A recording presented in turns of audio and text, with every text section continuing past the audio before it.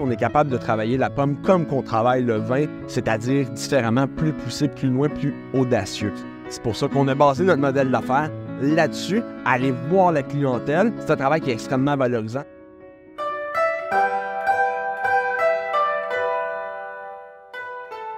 Ben bonjour, mon nom est Marc-Antoine. On est à Farnham Moi, c'est Audrey-Anne, on est à la ferme cidricole Equinox. et nous sommes producteurs principalement d'arbres fruitiers, de cidre fermier et de spiritueux fermiers également. Eh, on vient pas du tout du monde agricole, nous, non. Moi, j'ai des parents entrepreneurs, donc je viens du côté entrepreneurial, oui. Marc-Antoine, ses études étaient liées à l'agricole, par contre, mais moi, non, puisque j'ai fait un bac en droit. Euh, Marc, son bac en agronomie, au moins, est un peu lié.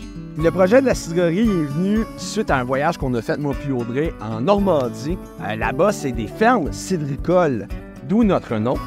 Donc, euh, nous autres, on est vraiment allés s'inspirer de ce modèle-là en Normandie, puis on est revenu ici, puis là, l'idée, elle dit, OK, bien, faut implanter ce modèle-là au Québec. Finalement, on a atterri ici à Farnham, où est-ce qu'il y avait un magnifique verger de 9 hectares en production, avec un hectare qui nous appelait direct pour notre projet de pomme à cidre. On a monté le plan d'affaires autour de ça, puis nous voilà trois ans plus tard, euh, avec une cidrerie derrière nous, qu'on est bien parti dans des projets. On voulait produire de l'alcool parce que la transformation, ça demeure qui est le plus rentable en agriculture. Puis c'est quelque chose qui nous interpellait, puis on savait qu'on pouvait développer davantage ce créneau-là comparativement à d'autres créneaux existants. On était jeunes, on avait 23-24 ans, Encore aux études. encore aux études, puis on a quand même réussi à racheter notre entreprise, puis à démarrer rapidement dans le site. Puis là, maintenant, ben, on fait partie de cette belle industrie-là, puis on, est- on en est très fiers. Bien, en fait, on voulait justement diversifier les cultures. Euh, aussi, quand on est bio, le fait d'avoir une belle biodiversité, ça l'aide beaucoup aux ravageurs parce que les, ravageurs de l'un vont, attaquer les autres. Donc, ça vient de créer comme un bel équilibre. Euh, puis Equinox, c'est l'équilibre. Puis aussi, on veut utiliser le plus nos cultures dans nos produits. Donc, idéalement, il faut qu'on ait une belle diversité pour avoir une belle diversité de produits également. Puis aussi parce qu'on tripe à être un peu fou. Ouais, certainement. Maintenant, après trois ans, les cameries sont en production.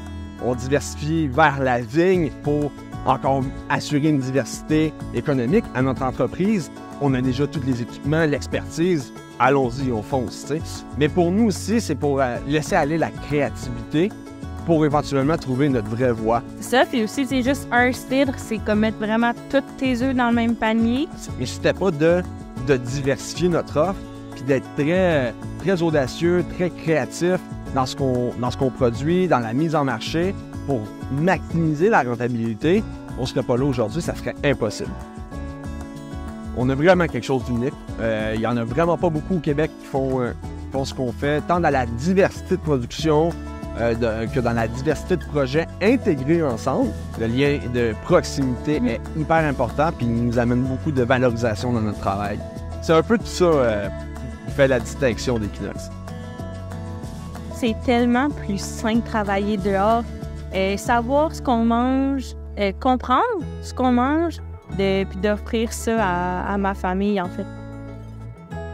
Moi, si j'avais un conseil à te donner, c'est fais tes devoirs. Assure-toi que c'est un besoin que la clientèle a avant de vouloir foncer dans une, dans une culture euh, distincte.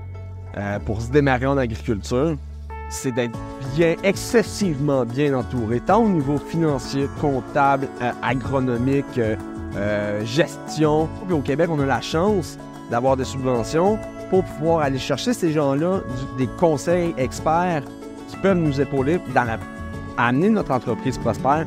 On va les chercher. Il faut continuer à aider la relève, que ce soit avec des subventions, que ce soit avec de l'aide financière, des conseils, de l'accompagnement. Il faut le faire. Puis nous, on a eu la chance d'en avoir beaucoup en partant. C'est ce qui nous a permis d'aller aussi loin, aussi vite. Je pense que si on peut au moins sécuriser la relève, moi je pense aux prochains qui commencent. S'ils l'ont pas, ils vont la trouver dure, on nous dit. Fait parlez-en, puis aidez-nous. Aidez-nous là-dessus. Continuer d'investir dans la relève, en fait.